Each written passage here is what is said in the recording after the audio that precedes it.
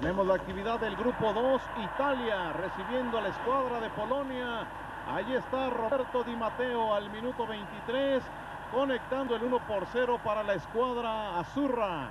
En un buen servicio, muy bueno el remate también. Tiro de esquina.